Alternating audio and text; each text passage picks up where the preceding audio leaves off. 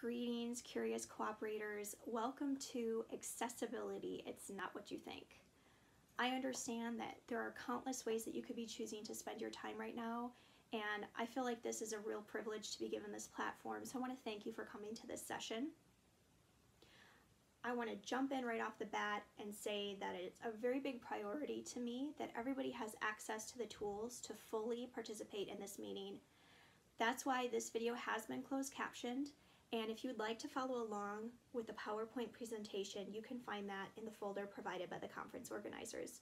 If you have any questions at the end of the session, please feel free to reach out to me via email.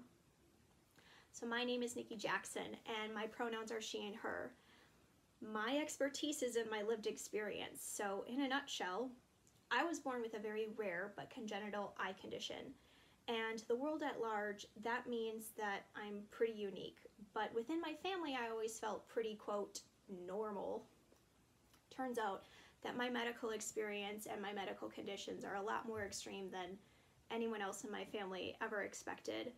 So for the purposes of this presentation, my blindness is what I will be referring to when I talk about my disability. I actually have several other conditions that are more disabling to me than my visual impairment, and those are considered invisible disabilities. But for this presentation, we're just going to keep it simple and talk about my blindness. So when people hear the term blind, usually two things come to mind. One is that they think it's a bad word or that they think the term disabled or disability is a bad word. People don't like using those as descriptors for other people. And I understand that. It can be uncomfortable if you're not used to it. But I just want to get out in front of that and say that these are not bad words. If someone identifies themselves as blind or disabled or with a specific disability, it is okay to identify us or to refer to us with those descriptors. It actually can be pretty offensive if I tell you I'm blind and you use a different term to describe me, like low vision or visually impaired. So they're not bad words, I promise. I just wanted to throw that out there. The second thing that people usually assume when they hear the term blind is that it means a complete lack of vision. But in reality, blindness, like a lot of other things, including a lot of other disabilities, is actually on a spectrum. So someone can be low vision, or someone can be legally blind, or someone can be completely blind. And we won't get into all the nitty gritties of what all those definitions means because honestly it's not that important. But that's not necessarily what someone means when someone says they're blind. Now that can be challenging for a lot of reasons but not the least of which is that it can be confusing to people who interact with me on a daily basis which is understandable. So for example from the ages of 10 to 13 I was pretty much almost completely blind I was a full-time white cane user. I had learned Braille and I used Braille and audio output from my technologies as my main accommodations while I was in school. I was very deeply immersed in the disability community and during that time I learned a lot of confidence and I learned how to advocate for myself and I even went to the state capitol to speak to the legislators to fight for my right to be able to stay in mainstream school. It was really easy for people to understand. It was pretty cut and dry. Little Nikki is blind, she uses a cane, she uses Braille. All of those are very stereotypically what a blind person would seem to need for accommodations. Now, you fast forward a few years, and I actually regained a large portion of my vision back, which was very awesome. And of course, naturally, I used the, my vision and stopped using the other accommodations that I didn't need um, on a daily basis. So I kind of dropped Braille and moved more towards using a magnifying glass or using really large font because honestly, those are easier accommodations to get. And I also stopped using my white cane except for in very specific circumstances. So this, of course, caused a little ambiguity and a little bit of confusion. And when I found myself needing to ask for assistance and accommodations, I was often met with a lot of resistance. Even within my close circle, when I would ask for help, a lot of times I got responses and comments such as, Oh, I forgot. I forgot you can't see. You don't look blind. Or you're so good at doing that alone, I forgot that you might need help with that. I was always the, under the understanding, though, that my vision wouldn't last. I knew it would deteriorate as my condition persisted. And so for the next 10 plus years, I got really good at blending in and masking it and faking being able bodied. And there's the added layer to that that we don't know what we can't see. So I was even able to hide that from myself, sort of, until about two years ago, where it just beca- became very glaringly obvious that it was becoming unsafe for me to not use the previous accommodations, meaning audio output and specifically using my cane. So, around two years ago, I started asking myself this question of wouldn't it just be easier on everybody if you formally acknowledge that you are blind again? And that might seem like a really weird or silly question for someone to ask themselves, um, especially if you're able bodied. I would understand why that seems a little weird. So I promise I will deconstruct that question for you. But for now, I actually want to switch over and share my screen with you so that um, you can see my PowerPoint presentation. So you can follow along if you want to. So just give me a second while I switch over and share my screen. All right, and this is a great point um, for me to just give my little disclaimer, and that is that this is my lived experience and perspective as a blind white cis woman. While I will do my best to include examples um, for people with other disabilities, I cannot represent all disabilities, and I don't even represent all blind people. Um, we are all different and have our own opinions. And remember, blindness is also on a spectrum. So I will do my very best to share with you what is considered to be best practices. And those best practices have input from the disability advocacy community at large. It's a very diverse group. Um, I should also say that I'm not a lawyer and I'm not a medical professional, so please keep that in mind as well. Even as someone who's lived with a disability throughout my entire life, I still struggle with internalized ableism. If ableism is a new term for you, you are definitely not alone. It honestly took me months to get a firm um, understanding of how embedded this is in our culture. It's a lot like white supremacy and patriarchy. Ableism is, in essence, the discrimination against disabled people based on this notion that being able bodied or not disabled is better than being disabled. So, a real life example of this is if someone has the attitude that they would rather be dead than disabled. This assumes that you cannot live a fulfilling life as a disabled person. So, internalized ableism is when a disabled person feels like they're a burden or when they feel like they're high maintenance when they need to ask for an accommodation for something when in reality, we all have needs, whether we are well able bodied or not. So today, we all need access to this presentation, right, in one form or another.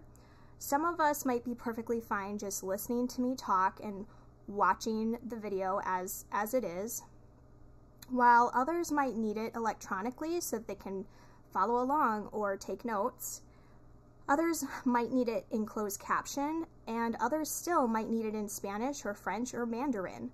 We all need it in one form or another, so having the attitude that needing it closed captioned is high maintenance is an example of ableism.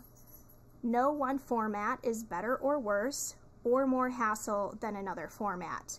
And I'd also like to address that people tend to assume that accommodations are really expensive and that simply is is just not the case. Most accommodations that customers will ask for from a store will not cost you anything more than the time it takes to implement that um, accommodation. This leads really well into another concept, which is people often ask the definition of disability. So there are actually two conflicting frameworks that can be used to describe disability. Historically, in the United States, we followed the medical model of disability. What that does is it looks at an individual It decides there's something wrong with somebody's body, it prescribes a cure or a fix, and then it places the responsibility of fixing that on the person with the disability, or the acronym PWD, person with disability. In contrast, there's the social model of disability, and that looks at the interaction between the traits of a person and their environment, assesses how the environment can be changed, not the body itself, and then it puts the responsibility of making the changes on the system in the society or changing society. An example of this would be if we were using the framework of the medical model. A person is considered disabled because they can't walk. There's something wrong with their body, and their body needs to be fixed. And if that cannot be fixed, then by default, that person is often left out of many interactions within our culture. But if we switch over and look at this situation through the framework of the social model of disability, someone in a wheelchair is disabled not because their body doesn't work, but because they've come across a building that they can't get into because there are steps. The person doesn't need to be fixed, the building needs to be fixed. The goal with shifting over to the social model is that we want to remove barriers for participating fully within our society. So the great news is is that making this shift actually benefits everybody. So curb cuts, they're not just good for people with wheelchairs. They also help people riding bikes and humans pushing strollers and delivery people who use hand dollies. It's just all around a better design. So here's just another example. This one is from my personal life, and it is my biggest reoccurring theme or story of my life right now. And that is that I don't necessarily feel disabled most of the time. I don't sit around and think to myself, man, I'm blind.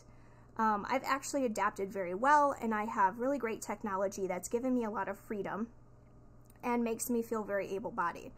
So when my vision deteriorated to the point where I could no longer use magnification for my main accommodation, I started using voiceover technology.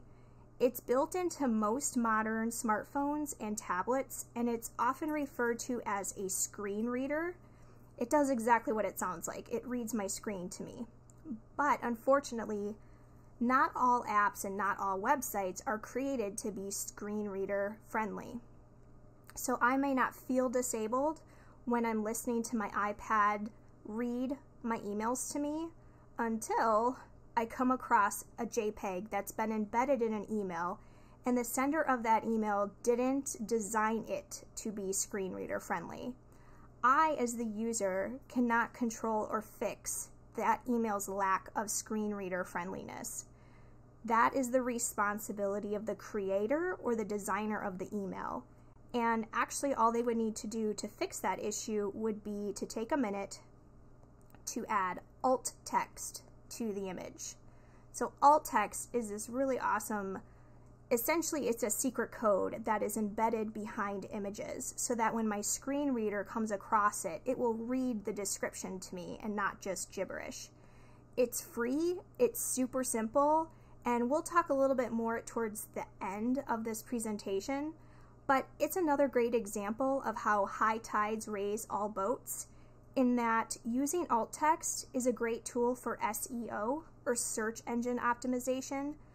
Adding descriptions to your photos will bump you up on Google, Facebook, and Instagram's algorithms. So that's a really great marketing tool for you. And so, since we have um, all of these definitions out of the way, let's get back to story time, which is how I came into the world of co ops. So, both the worlds of nature and sustainability and food and nutrition have been overarching themes of passion in my life. I spent several years at a College of Natural Resources studying forest recreation. I was a blind girl climbing trees, and I ended up getting my degree in food and nutrition of all things. So, when a co op opened in my town several years ago, my husband and I were really excited to be able to finally shop our values. We wanted to support local vendors, we wanted to reduce our waste and our carbon footprint.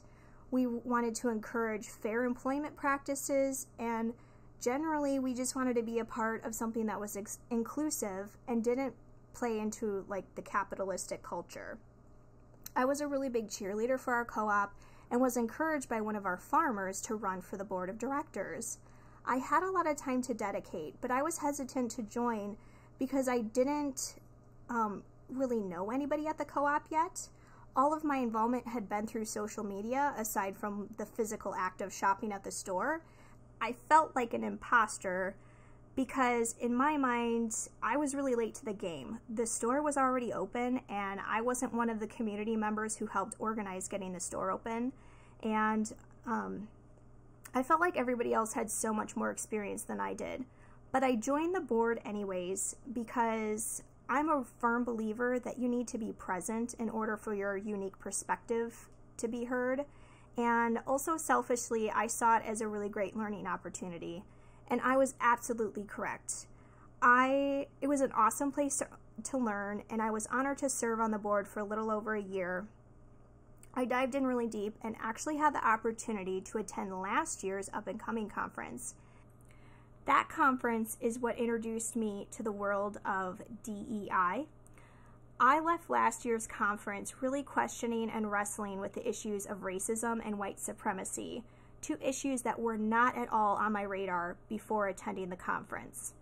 I also left the conference with a huge realization that I had only heard about in the disability circles that I was beginning to connect with. And that was that when people in the business world talk about diversity and inclusion, they don't really mean disability. So, just like racism wasn't on my radar because it wasn't my lived experience, ableism wasn't on many other people's radars because it very rarely gets talked about. And one thing that stuck with me from chatting with another attendee last year was that I had shared that I had felt shy about speaking up about the lack of inclusion for my community of disabled people, especially when my eyes were just being opened to other systematic oppression that was happening. And I was met with a really beautifully compassionate response, and it was this Equality is not a pie one group being treated justly doesn't take away from another group being treated fairly as well. So, isn't that just the very essence of a cooperative? Being stronger together than we are separately. All right, so next slide. Okay, so what is accessibility? Well, you guys can read the technical definition of, of accessibility on this slide while I continue to tell my story. So, every time that I brought up the term disability inclusion or accessibility, or even when I asked about sensitivity training within the co op world, my number one response was, Oh, yeah, we have handicap parking and we have curb cuts. Um, so, we're ADA compliant. We're, we're all good. Or even better than that, I had a really funny answer. Someone said, Oh, don't worry, we have our bathrooms signed in Braille. Now, don't get me wrong, having your restrooms labeled in Braille is a really good thing. But ask, ask this question Is having your bathroom sign labeled in Braille, does that help me be a shopper in your store? No, it does not. It helps me go to the bathroom in your store, but it doesn't make it any easier for me to shop for groceries or place an order in your store. So, since everyone seems to mention ADA, I'm just going to take a quick minute and break that down. It's really complicated, so here it is in a nutshell. The ADA stands for American with Disabilities Act. It was signed in 1990 to be enacted in 91 and it actually had a revision of standards in 2010. Yes, you are correct when you think that the ADA includes standards and requirements for parking and curb cuts and bathrooms and doorways and ramps and other physical requirements for your facilities and buildings. But it also includes requirements for services offered to your customers and communications. So, those are the two things that often get left out services and communications. So, in the year 2021, what's your most common form of communicating with your customers? even pre pandemic in 2017, what's the most common way you communicate with people? Well, if you answered through electronic means such as email and social media, then you would be absolutely absolutely right. So please keep in mind that the ADA covers electronic communications, it, websites, emails, social media, media, all of that sort of thing. So there are also two different categories of entities with the ADA. There's the Title II and Title III. So don't ask me what happened to Title I because I have no idea. But the Title II includes state and local government. Um, so that, of course, includes, includes like your city hall and um, you know, your library, and anything else that the government has domain over, like schools, public schools, or maybe a hospital or the post office. And then you have Title III, which is everyone else. It's not for profits, it's businesses, it's anyone that offers goods and services to the public. So, what's the difference? So, the requirements are actually different. For Title II, they are required by law to provide the accommodation that the PWD asks for. So, for example, when I was in college, when I asked my school to provide a computer program that um, offered a, a Zoom or magnification function in the computer lab at my school, they had to give me that accommodation. They weren't allowed to swap it out and say, well, we're just going to give you a handheld magnifying glass. You can hold it up to the computer screen. Like, they weren't allowed to do that. Now, the wording for Title III entities is a bit different, and it says, quote, that they are highly recommended, unquote, to provide the accommodation that the customer asks for. So, an example of this is when I sign up for cooking classes and I ask for the recipes to, provi- to be provided to me in large print. The store can say, Well, can we send it to you as an electronic format instead?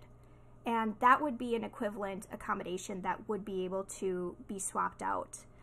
But the important thing to remember is that you can provide it in large print, or you could offer to swap it out for another reasonable equivalent accommodation, which would be an example would be giving it to them as an electronic format. That would be an equivalent swap but you do not have the right to not accommodate them. You have to offer a swap. And please keep in mind that when you offer a swap, the best person to decide what the best accommodation is for someone is the person with the disability. So that if they've asked for something specifically, it's really best practice to give them what they've asked for if it's within your power to do that. So at this point, I'm going to ask you all a personal question. And you're lucky this isn't live because you don't actually have to answer me. Have you guys been kind of having a hard time following along today? Maybe you assume that I'm having technical difficulties and I just don't know it because I can't see it. So, remember at the top of this session, I started off by prioritizing the fact that I wanted to make sure that everybody had access to the tools they needed to fully participate in this in this workshop. I've been using words like as you can see here, or you can read the definition on the slide, but you probably haven't actually been able to see it on the slides, right? Yeah, that's because I was being a tricky trickster there, and I used invisible ink on these slides. Because I want you all to remember this experience of sitting through a meeting or a class or a workshop where you knew you were missing out on something, you knew you weren't getting the full picture. If you're a visual learner like I am, this could have potentially been really distracting or confusing, or maybe you felt annoyed, or maybe you felt excluded, or maybe you didn't notice anything was wrong at all, and that is perfectly okay too. So, this is why accessibility is so stinking important because making sure that your store is welcoming and accessible to disabled people in all ways is A, the right thing to do. I wish I could just stop there and end it there, but I can't. So, A, it's the right thing to do. B, it's the legal thing to do. We already covered ADA. And C, it will make you money. So, I'm going to go through some statistics and we're going to point out which reason fits with this statistic because you're thinking, what do you mean it'll make me money? All right. So, stats show that anywhere from 18 to 25% of the world's population have a lived experience of disability. That is a huge percentage. Think of that as your market share. So, if you just left 18 to 25% of the market share off the table, that is why I say C, it will make you money. So it's the largest minority group that exists. And it's also the only minority group that you can join at any point in your life. So I want to say that A, it's the right thing to do because unfortunately, you don't know if it would ever happen to you or if you would need an accommodation. Not all disabilities are permanent. You might have an accident or have surgery and you might need a mobility device, and that would be considered a lived experience of disability. The statistics also show that 80% of those experiences of disability happen during someone's working years, which is ages 18 to 65. So that's another reason why it will make you money because these are people who are spending money. We are statistically underemployed despite our level of education. So for blind folks in the United States right now, that statistic is 80% of an unemployment rate.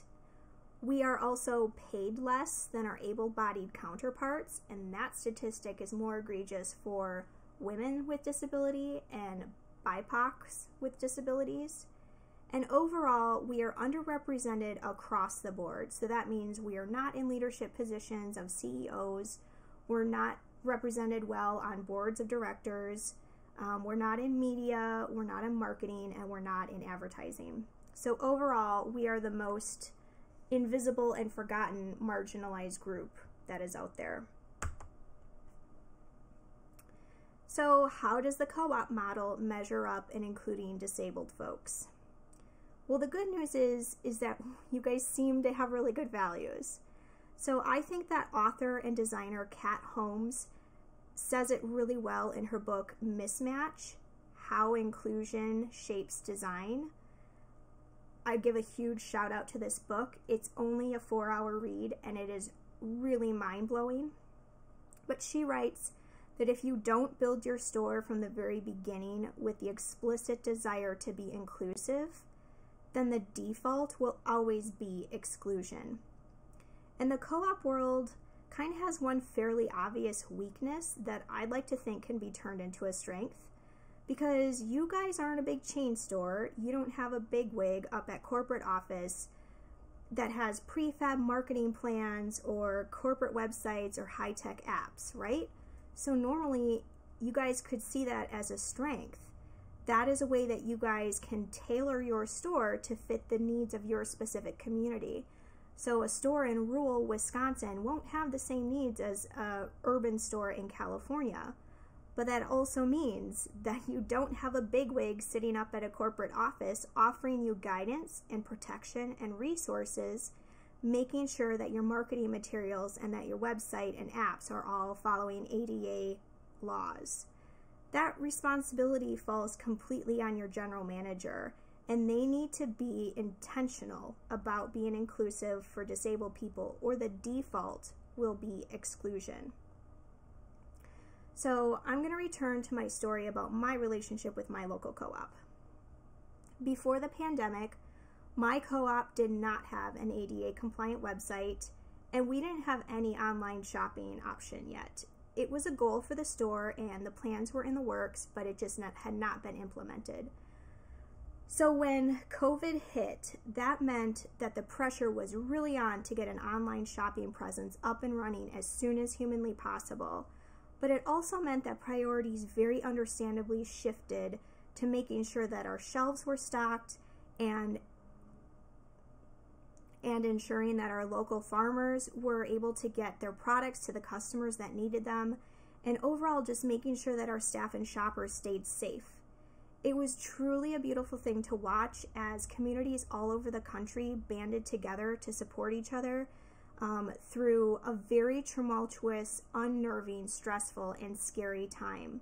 I was so proud to watch headlines of co ops and the local food movement as we made front page news about how resilient and resourceful we were during the beginning of the pandemic. But that is exactly all I could do personally was watch. I know that what I'm about to say is not unique to me and that COVID was a very trauma inducing time for a lot of people for a lot of different and complex reasons. But from a disabled pers- person's perspective, COVID magnified a huge problem of food insecurity as I was not able to independently access the food that I wanted. I wasn't able to independently access the food that I wanted. That was because that the app that my co-op decided to use for online shopping was not screen reader friendly. I couldn't place orders for delivery or for pickup. And remember I just said that the website was not ADA compliant. So I couldn't read sales ads by going to the web page. And on top of that, the emails that were being sent from the store to owners with sales ads each week were also not ADA compliant. So this means that I couldn't find the ads and make a list and send a shopper to go shopping for me on my behalf. All right, so instead of just telling you about it, I'm going to show you what this experience is like. I went through and I made an email that I recreated from an email that I got from my co-op this past January.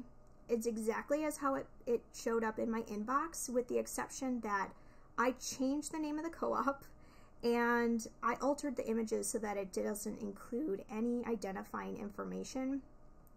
In doing that, it also took away like some other information like store hours and stuff. So I'm just to play you the email as it appears in my inbox from the store. Voiceover on. Mail. Hello there. To colons and from Everybody's Welcome Cooperative. At, To colon 8:07 p.m. Nikki, check out the deals. Nikki, check out the deals. Hello there. Here are owner deals for January. You can get our soup in a 32 ounce container. Heat it up over the stove at home and tell your family you made it yourself. We won't tell winking face. January 6th. Link is Wellness Wednesday. You can get 10% off each wellness item. We have lots of new organic, plant-based protein powders. Here is a recipe for a protein smoothie to get started. We're having fun making ricotta from scratch. Did you know that ricotta is high in whey protein and is considered one of the healthiest cheeses? It's perfect for lasagna, salads, pasta, and scrambled eggs smiling face licking lips. Everybody's welcome cooperative. Facebook, link. Twitter, link. Pinterest, link. Everybody's welcome cooperative vertical line. 1234 Able Street, link. Comma, link. Odyssey, Ohio, 98765. Link. All right. Then I went through and I recreated it and I added alt text to all the images that were in the email. So now I'm going to play for you what my screen reader reads to me when it is an ADA accessible email and try to pay attention and see what differences you you hear. What information do you get from the second email that you didn't get from the first? Voiceover on. From Everybody's Welcome Cooperative. Address. Button. To colon Zimmer. 826. Nikki. Check out the deals. With alt text. Hello there. Here are owner deals for January. Owner deals. Valid January 2021. Wickster Seafood Norwegian Steelhead 10.99 each save $1. Local organic bulk rainbow carrots 2.49 per pound. Save 50 cents per pound. Local microgreens kit 5.29 each save 70 cents. Supreme mini brie bites 6.99 4.4 ounce bag save $1. The Seaweed Bath Co exfoliating detox scrubs 11.99 6 fluid ounces save $2. Think berry crumble oatmeal 3.99 per. You can get our soup in a 32 ounce container. Heat it up over the stove at home and tell your family you made it yourself. We won't tell winking face. Soups on. This week's hot soup schedule. Be sure to check the grab and go case for even more house-made soups. Monday, January 4th. Tomato dal. Vegan. Wheat-free. Dairy-free. Vegetarian. Gumbo. Tuesday, January 5th. Provincial vegetable. Vegan. January 6th. Link.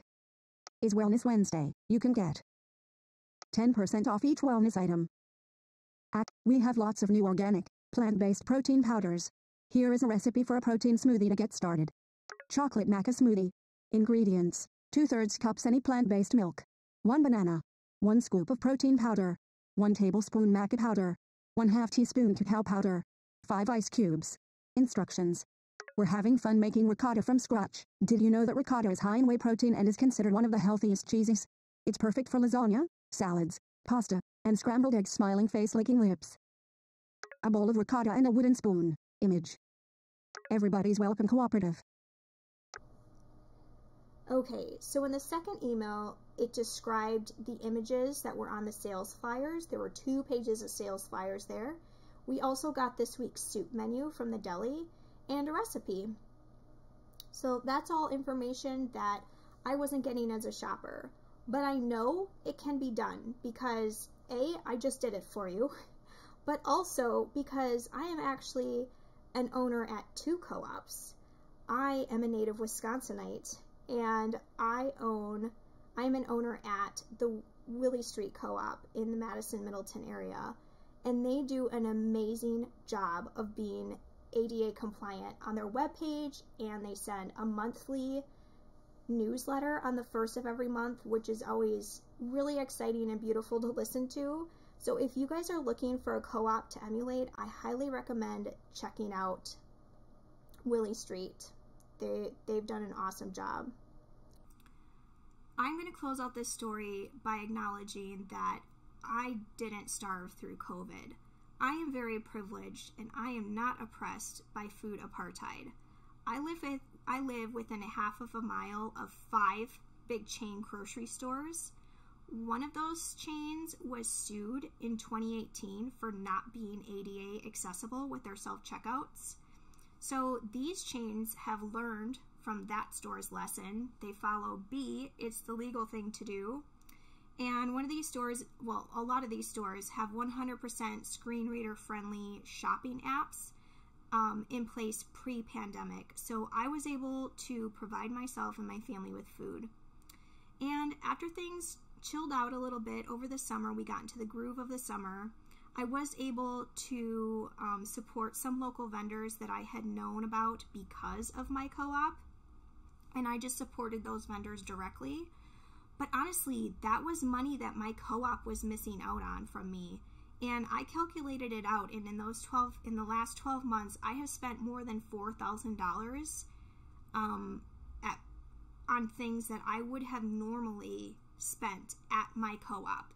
And I'm an clearly I'm an owner at my co-op so I have a vested interest in it doing well and it's really hard for me to not be able to shop there so here we are we've made it to the nitty gritty portion that you've all been waiting for so you're saying, Nikki, you've used your wonderful persuasive skills and you've convinced us that being accessible should be a priority for us. So tell me what we can do to, what can we do to implement accessibility right now? So first and foremost, your email communications and social media, those are things that I'm assuming you guys have open that you guys have in place now, even if your store is not open yet. Be using alt text anytime you have an image in an email or on your website or on social media, use alt text. We've talked about why that's a great idea. Um, in the resource folder of the conference, I will include training tutorials. Another thing with your social media is if you're putting videos up on YouTube or Facebook or anything like that, please include closed captioning. It's free um, you can even do auto generated closed captioning on those platforms, but just like you would proofread any email that you're going to send out to your able bodied customers, please also make sure you're proofreading your closed captioning because there can be some very unfortunate mistakes in there. I'm going to jump down to the hiring staff and recruiting board members. This one is actually two prong. First of all, you should be hiring people who are aware of and follow the ADA laws. So, this is true with your staff. This also has to do with your website. Your marketing personnel should really know about alt text. Along with that, the second prong of that is please don't discount us from your pool of candidates. A, it's illegal. So, just putting that out there, it's illegal. But I understand that we all kind of have these biases. So, just like you can't look at an able bodied candidate and assume that they know how to use Excel, you can't look at a disabled candidate and assume that they can't do a portion of their job as well. The best person to know someone's limitations is themselves, so don't assume anything. They might have a very simple accommodation that can allow them to do things that would just kind of blow your mind. Um, so if you're using a recruiter or as you're hiring, make sure that the sites that you're posting on, your applications, your election process for your board members, all of those things, all those websites need to be ADA accessible.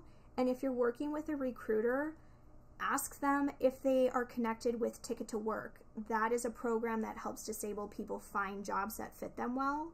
So that's just a way to be very conscious of hiring. The next thing would be staff training. There are a lot of resources online I'm providing an Etiquette 101 training in my resource tab. I think all humans should read it. I mean, I just think it's a really good basic place to start. In a really awesome world, like in my dream world, I would love for all grocery stores to train at least one of their cashiers to give their script in American Sign Language. Like, how great would that be if you had at least one employee who could say, How are you today? Did you find everything you needed?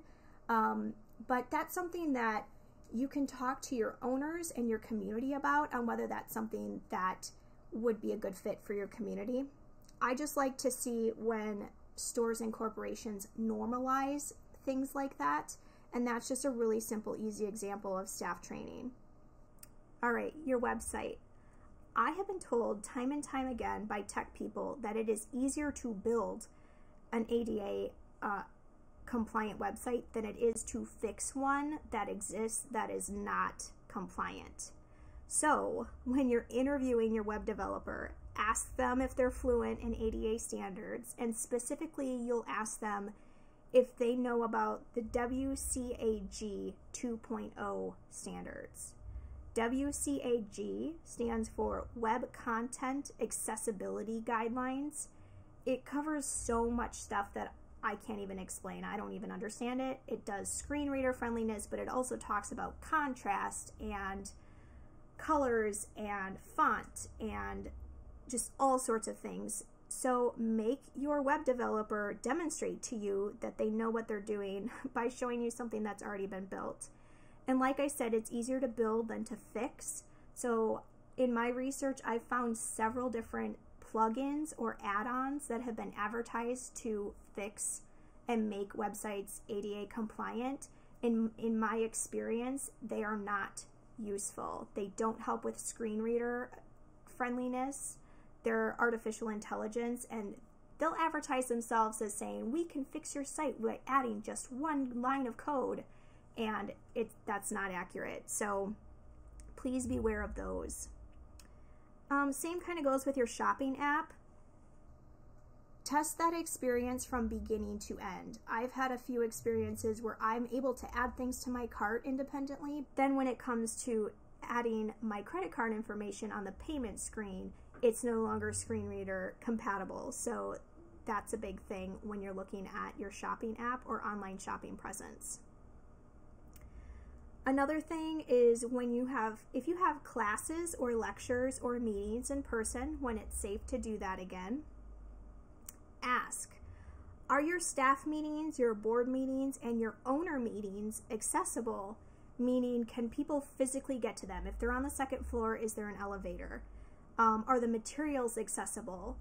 Are you offering the materials ahead of time as an electronic format? Maybe you need to have the agendas and the minutes available in an electronic format. Um, another, that's why I started this meeting by saying it was a priority that everyone has access to the tools they need to participate fully in this meeting.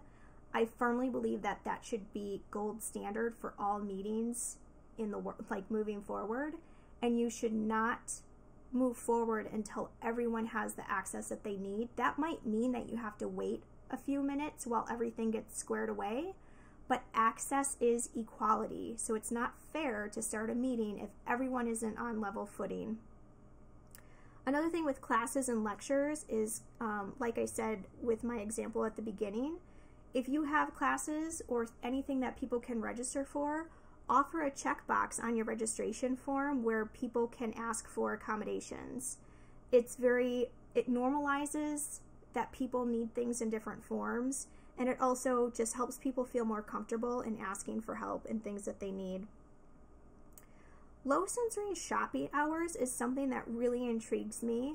You'll this is another area where you will want to ask your community or your owners what would work best because this isn't a one size fits all. Um, what this is is that it would be where you aren't playing music, you turn the lights down to a bare minimum, and you tell your employees not to approach customers. That if a customer needs assistance, they'll know that they should be approaching you. Um, so this might look like every Friday at 3 p.m., you guys offer an hour of low sensory shopping experience for people who would need that accommodation.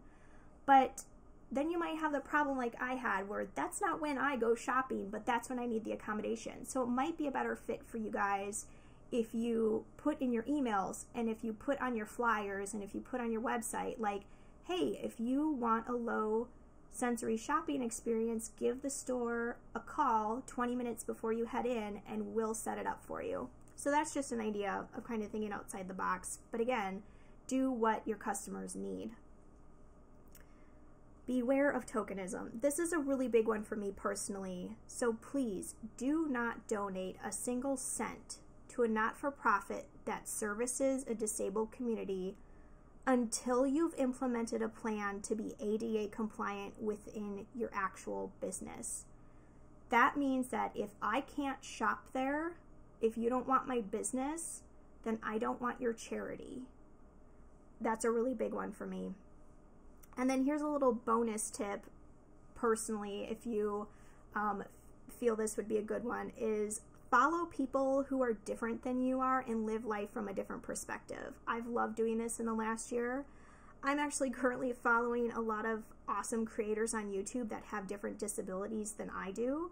Um, so I would highly recommend if you want to learn more about ableism in particular, I would highly recommend checking out Footless Jo on YouTube. She is a below the knee amputee. And I would also highly recommend following the channel Squirmy and Grubs. Um, they're an interabled couple. They've also written a book and they run a not for profit, but they're also on YouTube and they talk about ableism a lot. And they're just really funny and entertaining to watch. They make really great content.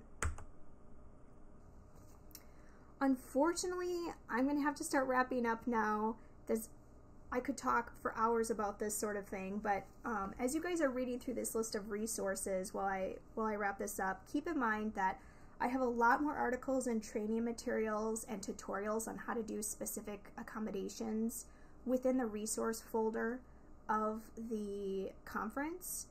On this list, though, I do want to give a really big shout out to the Chicago Food Justice Summit. They have their sessions for free on YouTube, and one of them that really blew my mind was creating an accessible food sovereignty guide for PWDs. And there were things that, as a disabled person, I learned from that session. Um, so that is a really, really good one to watch. And like I said, that's free to watch on YouTube. I would love to hear from you guys. If you have any questions or comments or stories or even jokes, if we were in person, I would be handing out stickers to all of you. Um, one of them says, if you're if you've embraced diversity but you ignore disability, then you're doing it wrong. And the second sticker is this cute little Jedi um, acronym with lightsabers on it. And the Jedi acronym stands for Justice, Equity, Diversity, and Inclusion. These are cool um, things that I found on the urevolution.com website. Urevolution stands for Uncomfortable Revolution, and they also have a lot of great resources. So, the first three people who email me and say that they're from this conference, I will plop these stickers in the mail for you as a prize. So, shoot me an email and include your mailing address, and I'll get those out to you. If you would like to follow my adventures as a blind foodie, you're welcome to follow my blog, which is rar.home.blog. RAR stands for rhubarb and rubbish, and I write about my disability and my blindness, but I also write about gardening and hiking and all sorts of other things. I'm available if you want me to walk this journey with you.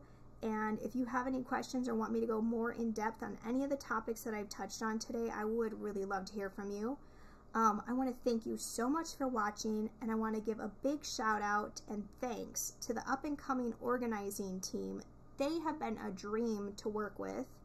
I hope you all have an enlightened rest of your day at the DEI track, and in general, I hope the rest of this conference goes smooth and is enjoyable for you. So, thank you so much and have a great day.